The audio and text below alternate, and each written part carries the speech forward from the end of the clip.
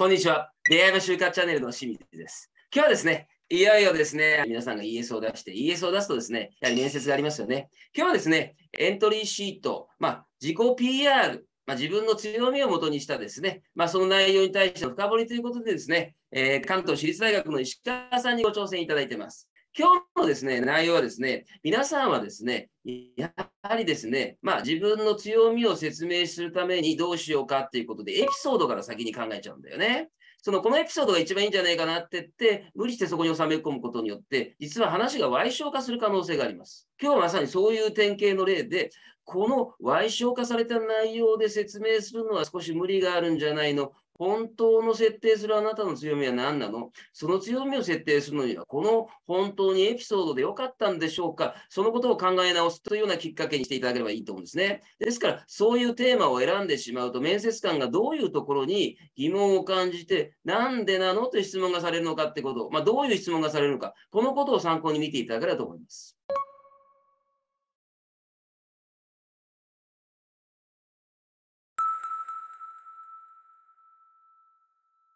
こんにちは。こんにちは。じゃあ、石川さんね、えっとですね、はい、一旦ですね、石川さんに出していただいている、あなたの強みのやつはいただいてるんだけど、簡単に説明してもらってもいいかな、もう一回。はい、わかりました。えっと、私は大学時代、いろいろなことに取り組んだんですけども、えっと、特に、えっと、自分の強みというものが発揮できたものとして、スキューバダイビング部で会計を務めたときに、えっと、運営において持続可能なえっと、業務の効率化を行えたというふうに考えております。えっと、強みとなっているのは課題解決能力というところでして、えっと、毎回課題ごとを、あ、活動ごとに、すみません、活動ごとに、えっと、会計の業務でミスが起こりやすい状況というものがありまして、えっと、具体的に言うと、部員の体調であったり、海峡によって、えっと、潜水、潜る回数が違ってきたりして、毎回会計の人、個人個人で毎回の会計の額が異なるというようなことがあって、そういうところを計算を毎回当日に行わなければいけない、現地で当日に行わなければならないというところで、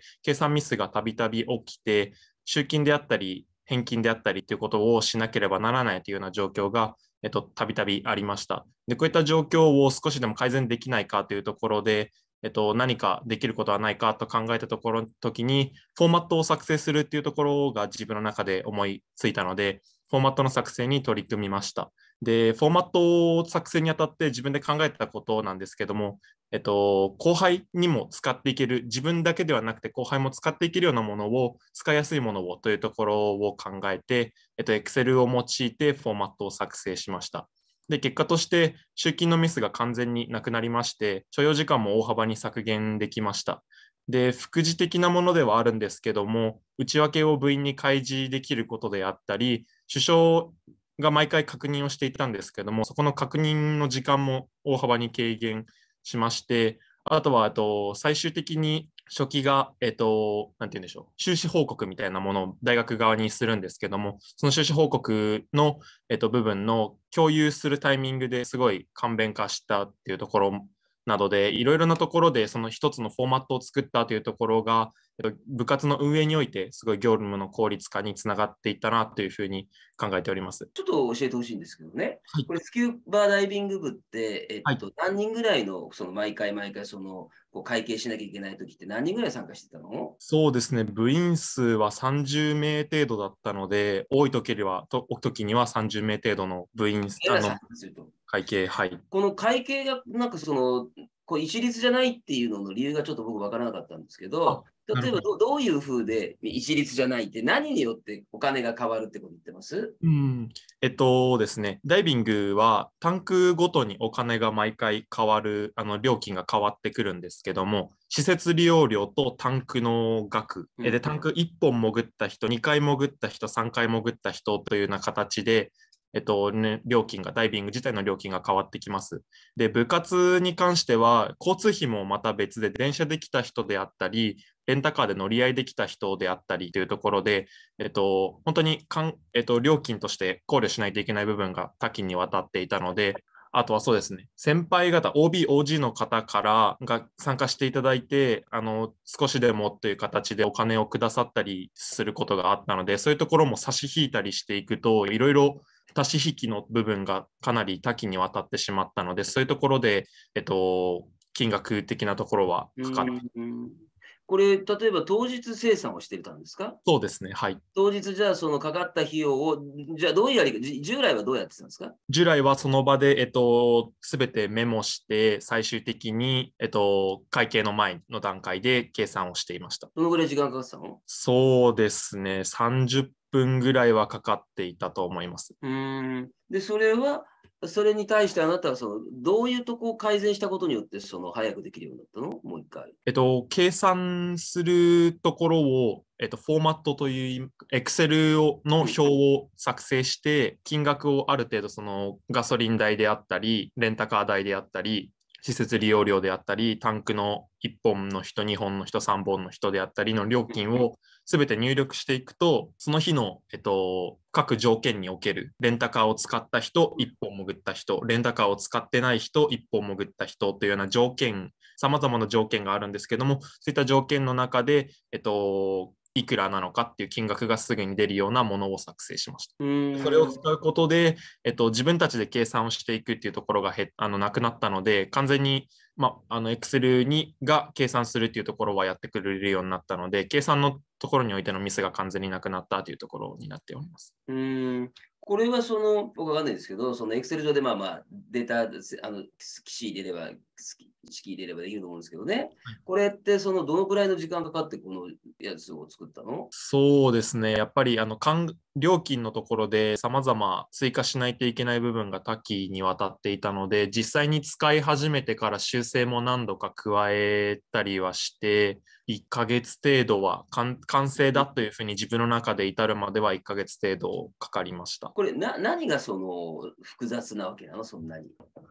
そうですね。えっと。例えばさ、わかんないけど、はい、まあ、はい、いろんなバリエーションがあるとしてですよ。そのあれですよね。はい、えっと、じゃあタンク2本使った人、施設利用料ってみんな一緒なんでしょ？そうですね。そこは統一。そこはだって今日来たんだから行く一緒ですよね。はい。そうするとかかった費用に対してニーズで割ればいいと思うんですけど、例えばそのタンクはあなた何回潜ったっていうのを申告させるわけ。そうですね、一応、まあ、あのそれぞれ人数30人はいるんですけども、把握はしているので、その把握した本数でというふうな形にはなあだからそのタンクの本数、あと、じゃあ何何できたっていうのを、大体何を入力し何を入力してたの？えっと、そうですね、そ施設利用料は、まあ、あの使う施設によって値段も変わるので、施設利用料に、うん、あとタンクの料金、うんと、あとは交通費として何を使っていたか、レンタカーを使ったのか、レンタカーであれば、えっと、レンタカー代とガソリン代がかかっあと高速道路を使ったりしていたの、うん、高速代等も含めて、えっと、そういった料金をすべて入力していって、ガソリン価格も毎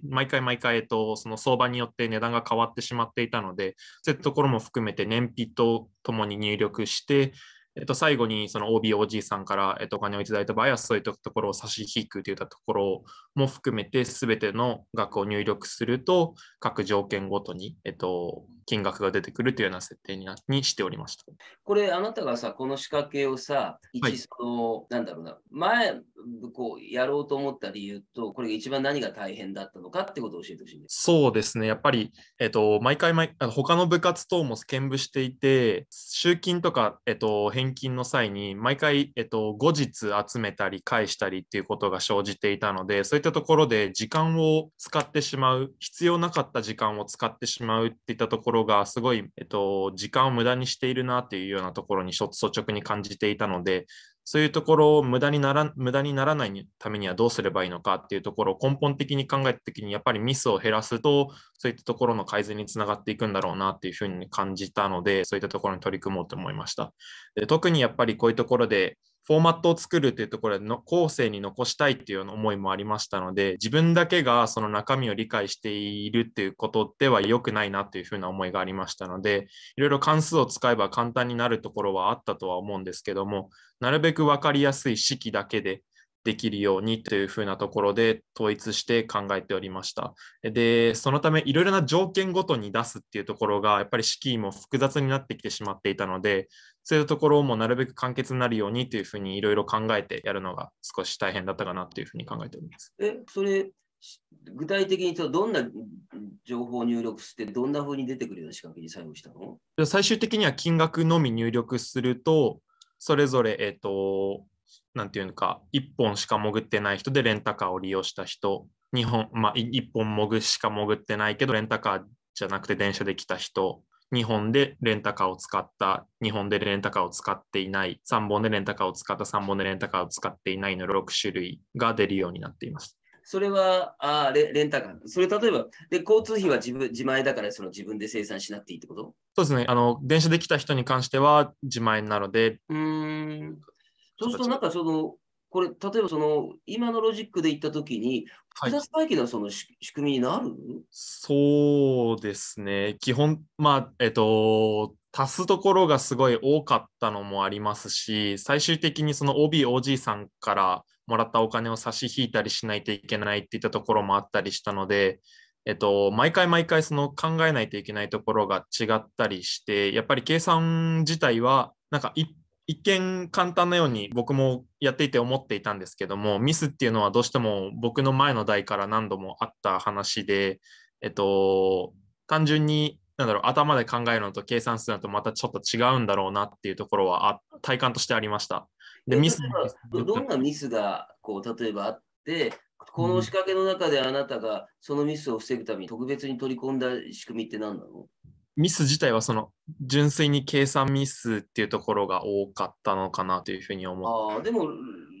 計算ミスはこの Excel でやったらミスは起きないよね。そうですね。なので、だから入れた瞬間にもう起きなくなっちゃうじゃないですか。人間の手で計算すること。それをでも、この Excel の仕掛けを入れた瞬間にほぼ解決しちゃうんじゃないの？だから、その、なんだろう、この仕掛けを作ったことの、そのあなたがその課題解決で一番、この課題解決っていう中であなたがこう一番何かこう知恵を使ったところって何かなっていう知恵を使ったところ、そうですね。まあ、作ること自体はそこまで難しいことではなかった。まあ、複雑なところではあったんですけど、自体は難しいことではなかったので、うん、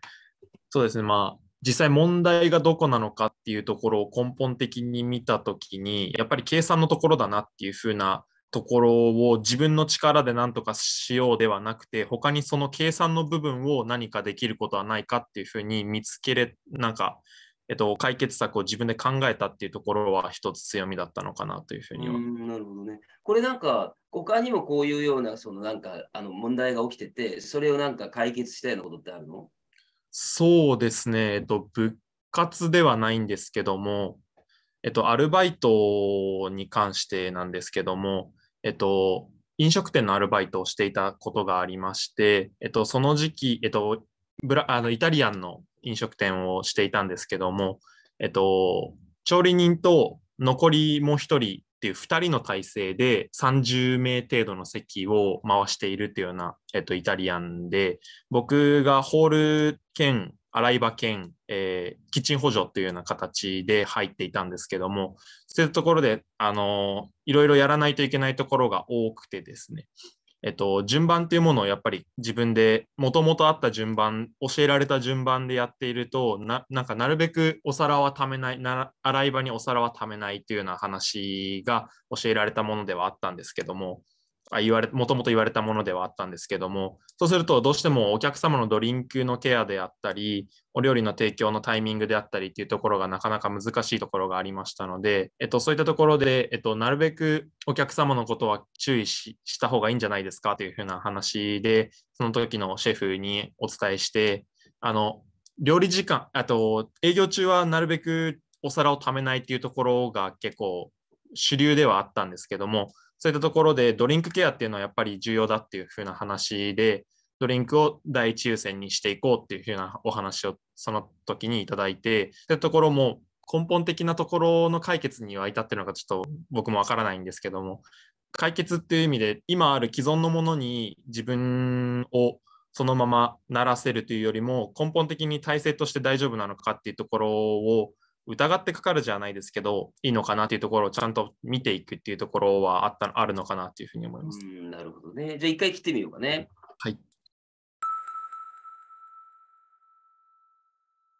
さあ皆さん実際にですね、石川さんのやつを見ていただいたと思うんですけど、僕が途中で質問してますよね。これスキューバダイビングの話で、この会計の効率化をしようとした。で、この会計の効率化をしようとするときに、何がそんなに複雑回帰で、何が工夫点なのかってことを面接官は疑問を持ちながら質問されてるわけですね。これ簡単に言うとですね、僕も理科系ですから、このぐらいのものって、Excel を使うってことを決めた瞬間に、ほぼ解決してしまうんですよね。重要なのは、今まで当日集まってですよ、電卓とか、まあ、スマホのですね、電算電卓機能を使ってね、計算したりすると、まあ、ミスは出ますよね。そう、今まではそういうやり方をしていることでミスが出るのを、これは Excel を使って式を最初に投入しといて、みんなからこの情報だけもらえれば、計算を Excel がすることによってミスがなくなる。これが全てなんだよね。そうすると、このことで説明できるのことっていうのは、実はみんなが日常してないことを私は Excel で簡単なものを作るってことが解決できると思って、それを入れた、これでしまいなんだよね。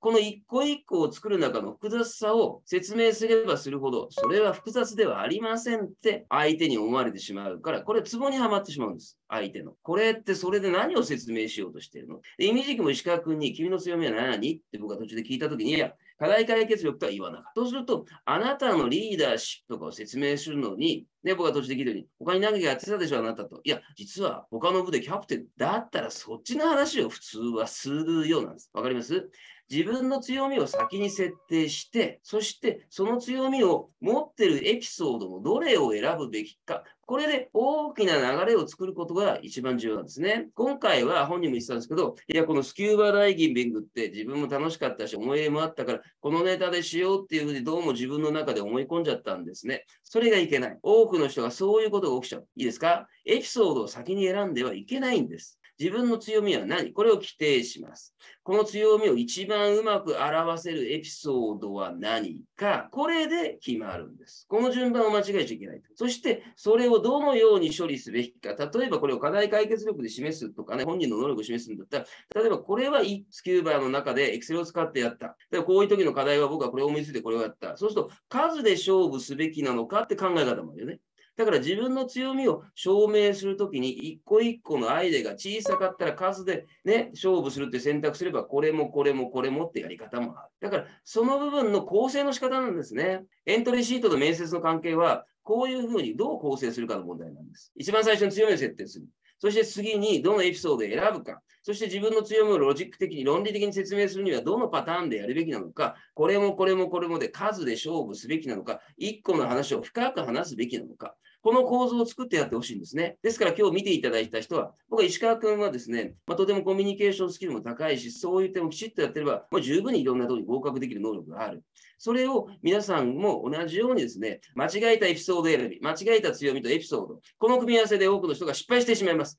ぜひそのことが起きないように、今日の動画を見て、皆さんもですね、自分の ES 大丈夫かなっていう確認の場にしていただければと思います。そしてですね、我々はですね、まあ、実際にですね、何でもこう訓練することが重要だってことが今日のやつで皆さん学んだと思うんですけど、私たちはグループディスカッションをきちっと訓練してスカウトがかかるというサービスをしています。グループディスカッションも日本の大手企業の7割から8割ほぼ出します。皆さんも今から訓練しておくべきなんです。ぜひ興味がある方は概要欄からお申し込みください。